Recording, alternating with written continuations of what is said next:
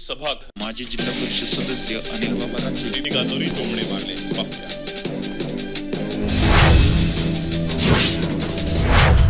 आणि मला असं वाटतं उद्या जर ऋषिकेश सारख्या नवीन चेहऱ्याला संधी जर दिली माझ्यासारख्याला संधी दिली किंवा रामदास ठाकूर असतील या सर्वच लोकांना जर नव्याने संधी दिली दिलीप शेठ मोदींबद्दल माझं म्हणणं दुमत असायचं काय कारण नाही.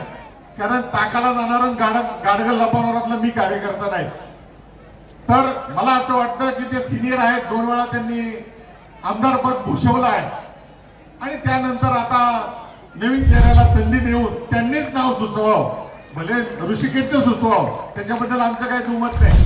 ऋषिकेशच्या कार्यक्रमात बोलतोय अशातला अजिबात भाग नाही.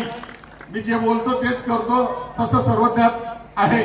आणि त्या गोष्टीचा मला नक्कीच अभिमान आहे. म्हणून मला असं वाटतं की आता पक्ष अडचणीतून जात आहे. आणि स्टेजवरील माणसांनी लोकांनी साहेबांच्या कानात तसं सांगावं असं मला वाटतं. कारण साहेब आल्यावर जर बोललं असतं तर साहेबांनी ऐकलं असतं.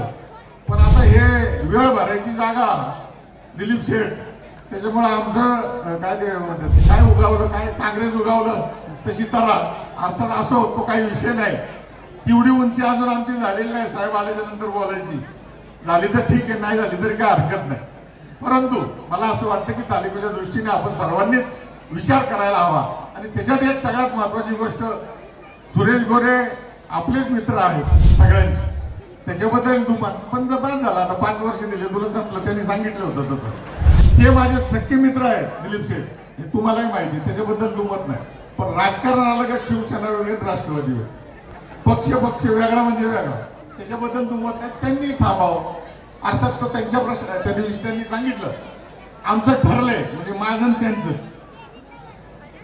आमच्या कार्यक्रमात येऊन म्हणला ठीक आहे म्हणलं तर काय दुमत नाही. परंतु त्याचे वेगवेगळे अर्थ होतात. प्रत्येक जण त्याचा ज्याच्या ज्याच्या परीने अर्थ काढत असतो मी तर चांगला घेतला. कारण माझ्या कार्यक्रमात येऊन जर आमचं ठरलंय असं सुरेश भाऊ जर म्हणत असतील तर माझ्यासारखा कार्यकर्ता त्याचा पॉझिटिव्ह विचार असा करतो दिलीप शेठ की आमचं ठरलंय आणि बाबाला शुभेच्छा म्हणजे मी थांबतो तू चाल. तर असंही होऊ शकतो. अर्थात तो भाग वेगळा आहे. परंतु त्यांनी एक वाक्य बाकी चांगलं वापरलं त्यावेळेस. नाही, तसं नाही तर त्यांनी एक वाक्य नक्कीच चांगलं सांगितलं की जे काय होईल ते खेळीमेळीच्या वातावरणात होऊ द्या. म्हणून मी सर्वांचं आणि साहेब आता मला वाटतं येता येते. तर अशा दृष्टीने मला असं वाटतं की सगळीच मंडळी आपलीच आहेत आणि तालुक्याच्या दृष्टीने उद्याचा निर्णय जो होणार आहे म्हणजे विधानसभेचा त्याच्या त्यामध्ये आपल्या प्रत्येकाची भूमिका ही नक्कीच महत्वाची असणार आहे. आणि आमच्यासारख्या कार्यकर्त्याचीही भूमिका महत्वाची असणार आहे. तालुक्याच्या दृष्टीने जो योग्य निर्णय होईल त्याच्याबरोबर आम्ही सर्व मंडळी आहोत.